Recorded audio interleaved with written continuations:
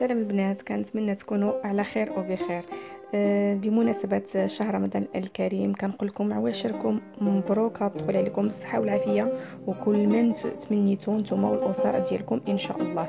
يعني في إطار التحضيرات ديال رمضان. غادي نقدم لكم إن شاء الله في هذا الفيديو هذا طريقة ديال تحضير آه، سلو أولا السفوف أولا الزميته يعني على حسب كل منطقة كيفاش كيسميوه. غادي نتقاسم معكم الطريقة ديالي اللي كنحضر بها سلو واحد الطريقة اللي كتجي رائعة المذاق ديال السلو كيجي غزال ما تشبعوش منه.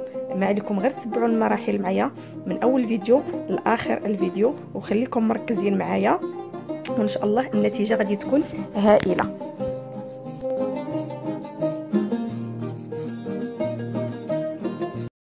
أول عمل خصنا نديرو باش نحضروا سلو هو نحمروا الدقيق.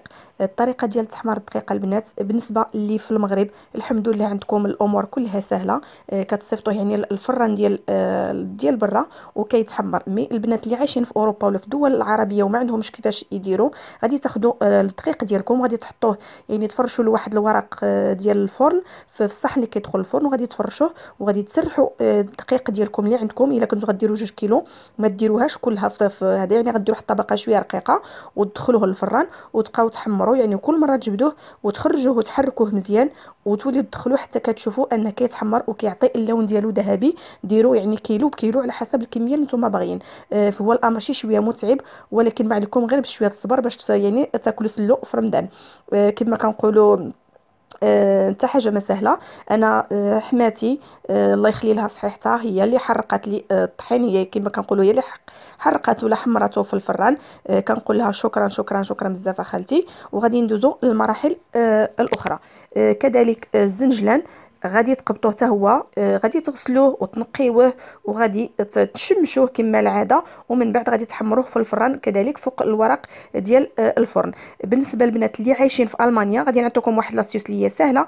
غادي تمشيو عند المحلات المغاربة كيبيعوا يعني آه، سمسم أولا الزنجلان محمر ناضي. بغيتو تاخذوه ما محمرش كاين في غيف ماشي غيف كاين في آه، غوسمان وكاين في دائم يعني منقي ناضي غتجيبوه نتوما للدار فقط تحمروه. كنتو ما عندكمش الوقت غادي تمشيو تشريوه محمر ناضي من عند المحلات المغاربة. هذه الطريقة باش تجيكم الأمور سهلة.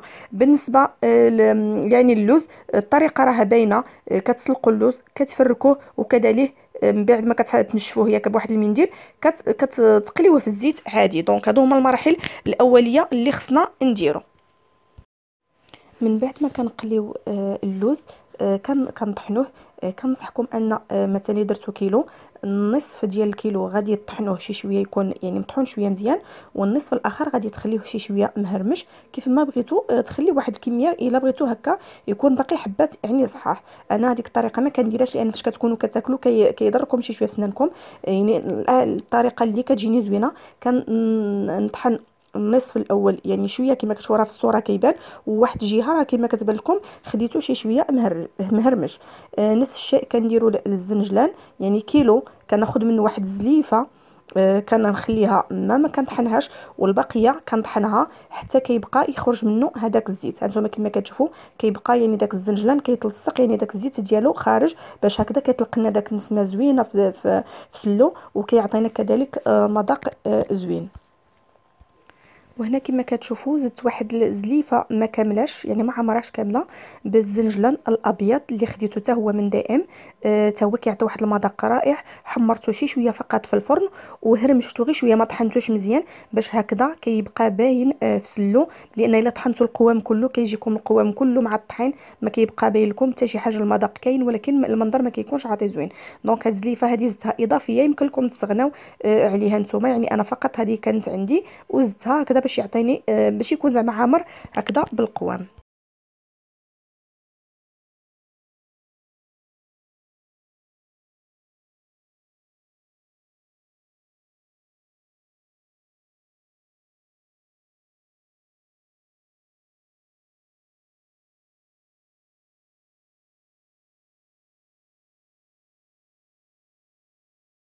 هنا كما كتشوفوا معايا جوج كيلو ديال الدقيق الأبيض اللي محمره في الفران.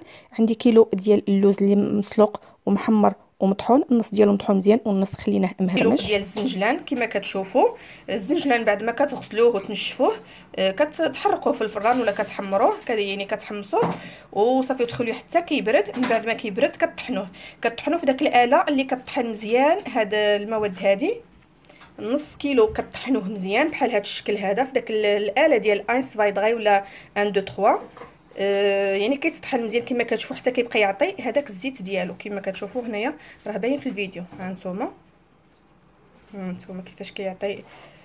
كيولي مطحون مزيان مزيان. يعني غير طحنوه وواحد نصف كيلو آخر اللي ما طحناهش وخليناه بهذا الشكل هكا يعني كامل باش يجي باين مع القوام فاش يتخلط. وهنا هاد الزلافه هذه ديال الزجله الأبيض حتى هي محمرة ومطحونة واحد شوية. ما تطحناتش مزيان ولكن غير شوية باش تجي هي باينة. والمذاق ديالها يبقى باين وتجي هكا عطينا منظر زوين فاش يتخلط القوام. هنا عندي خمسة المعالق ديال القرفة وثلاثة المعالق ديال آه النافع البلدي والنافع الرومي. يعني كطحنوهم مزيان. هذه هي المعلقة اللي اللي عبرت بها يعني آه معلقة ديال لاصوب ثلاثة المعالق ديال النافع. هنا غادي تحتاجوا واحد شوية ديال المسكة الحرة. يعني حوالي واحد الملعقة صغيرة. المسكة الحرة هي هذه البنات راها متوفرة عند الأتراك ومتوفرة كذلك عند آه المحلات المغربية. غادي نطحنها هنا في هذا المهراز غير غندقها ماشي غنطحنها مع شوية ديال الملحة اولا شوية ديال سنيدة. غدقوها بحال هذا الشكل هذا حتى كتطحن. donc هادشي اللي غادي نحتاج السلو وكذلك الدقيق. عفوا ماشي الدقيق السكر glacé أولا السكر الثقيل 600 غرام. هي هذه 600 غرام ديال السكر glacé هاد الزيت هادي اللي كتشوفوا هادي يطرو ديال الزيت الرومية ولا زيت المائدة هي اللي قلينا فيها آه، اللوز. البنات كنصحكم أنكم تستعملوا هذا الزيت هادي اللي قليتوا فيها اللوز. اولا كتكون يعني آه، فيها داك النسمه زوينه ديال اللوز كيكون منسم وكتخليوها حتى كت... كتبرد وكتصفيوها بها. غادي نخلطوا هاد المقادير هذه كلها ديال السلو كاين الناس اللي كيبغيو يخلطوه بالعسل حتى هي فكرة زوينة. إلا بغيتوا تخلطوه بالعسل وتستغناو على السكر وتستغناو على الزيت حتى هي فكرة يعني مناسبة. donc هاد الزيت البنات هي اللي غادي نخلطوا بها هاد المقادير هذه أولا كما قلت لكم آه، ديروا العسل فقط وغادي تستغناو على السكر سنيدة وتستغناو على هاد الزيت هذه مي إلا بغيتوا ديروها بالسكر آه، ديروا هاد الزيت هذه ما ديروش الزيت الرومية العاديه وما ديروش الزبدة. حتى آه، الزبدة ما كتعجبنيش أنا في السلوم وهذه الطريقة اللي كنديروا حنا دائما ديال ديال السلوم. طريقة غزالة وكيسلو كيبقى واحد المدة طويلة وما عمر النسمة ديالو ما كتبدل لأن الزبدة واخا كديروها من بعد بحال اللي كتغوى وكتعطي واحد الريحة خايبة في السلو donc هذه الطريقة الأنسب باش ديروا سلو بهاد الزويتة هذه اللي قلينا فيها آه، اللوز. وبطبيعة الحال كتصفيوها. هادو هما المقادير دابا اللي وجدنا كاملين كنحطوا كلشي حدانا. الزنجلان مطحون الزنجلان اللي مازال صاين اللوز مطحون سكر glacé الزيت القرفة النافع والمسكة الحره كبيره بطبيعة الحال كناخذ واحد القصعة كبيرة باش غادي نخلطوا هاد السلو كناخذ واحد القصعة كبيرة بحال هاد الشكل هذا ولا واحد الصحن اللي يكون كبير وغادي نوضعوا الدقيق ديالنا كامل وغادي نبداو نضيفوا المقادير وحدة بوحدة. كنوضعوا القرفة النافع المسكة الحرة كنوضعوا الأشياء اللي ناشفة كلها كنوضعها هي الأولى. الجنجلان الجنجلة الابيض والعادي. وكنضيفوا هاد الكمية ديال الزنجلان اللي سلقنا وطحناه غنخلطوا هاد الشيء هكا مزيان.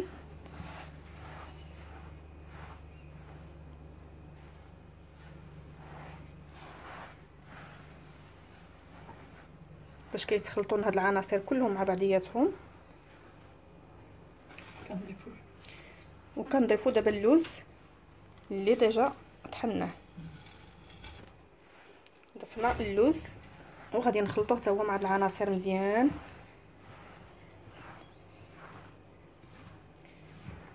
حتى كينسجموا كلهم مع بعضياتهم.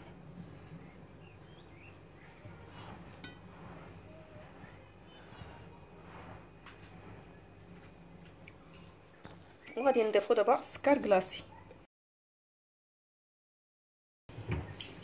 كنخلطو مزيان يعني كل شيء ولكن خصكم شي شوية ديال الجهد.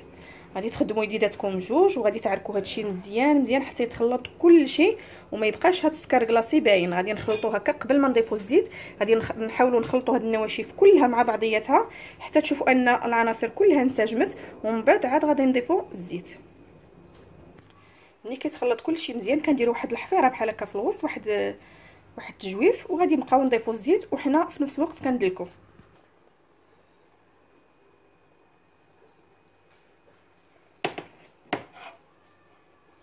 غادي نخلطو مزيان مزيان هاد العناصر كلها مع الزيت. وهذا السلوم بعد ما خلطناه كما كتشوفوا كيفاش كيجي.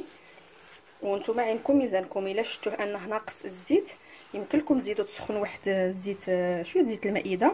يعني تزيدوا تحميوها مزيان حتى تغلى وتخليوها تبرد وعاد تخلطوا بها المهم كتخلطوه مزيان هكا حتى كيولي آه يعني متماسك بهذا الشكل هذا.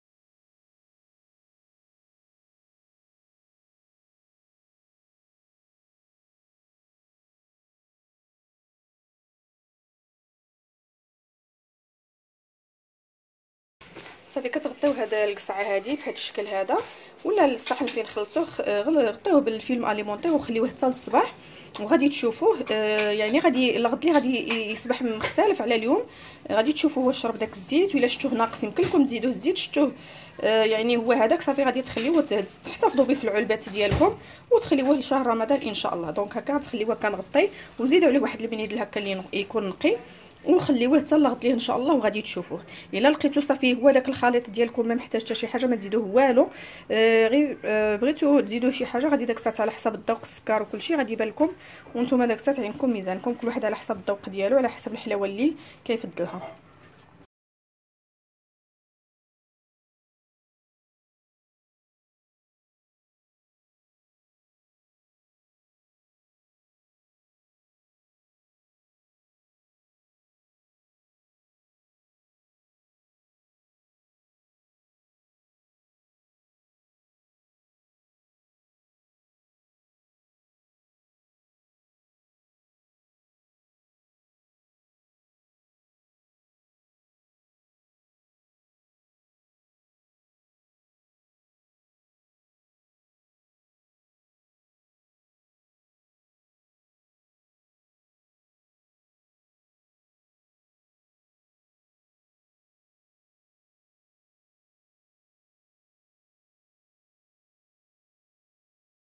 وهذه النتيجة النهائية ديال سلو. الطريقة ديالي سهلة مبسطة إلا بغيتو تتبعوها غادي تعطيكم نتيجة إن شاء الله هائلة والمذاق غادي يكون رائع.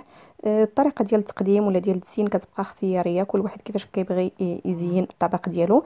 إلا بغيتو تحطوه يعني هكا بشكل عائلي غادي تحطوه بهذا الشكل هذا. غديروا في واحد المول ولا في واحد الزلافة اللي تكون عندها القعر ديالها يعني بحال هذا الشكل هذا. وغادي يعني تديروا السلو ديالكم وغادي تضغطوا عليه مزيان. وغادي تحطوها وتزينوا هكا بلويزات اللي محمرين اولا تحطوهم بشكل فردي. هكا بداك القطاعات اللي اللي متوفرين حاليا في السوق يعني الشكيلات اللي بغيتو شكل دائري شكل قليب اولا شكل وريضة. وغادي تزينوا هكا بالويزات كما كتشوفوا في الصورة. كنتمنى يعني هذا الفيديو هذا يكون شرح لكم الطريقة ديال تحضير السلو اولا السفوف اولا الزميته أه تكون طريقتي سهلة وتعجبكم وتحضروها إن شاء الله في البيوت ديالكم. والبنات اللي حضرتوهم عليكم غير تخليوا لي في ال commentaire وتقولوا لي كيفاش جاكم السلو الفيديو ديالنا انتهى ان شاء الله ديال هذا النهار. كنقول لكم آه إلى فيديو آخر. موضوع جديد فكرة جديدة. وعواشركم مبروكة. نسيت ما قلت لكمش الا عجبكم هاد الأنواع ديال الفيديوهات ديال تحضير آه ما قبل رمضان. ما عليكم غير تخليوها لي في les commentaires. وإن شاء الله نشارك معكم تحضيراتي المسبقة اللي كنقوم بها. كنقول لكم السلام عليكم.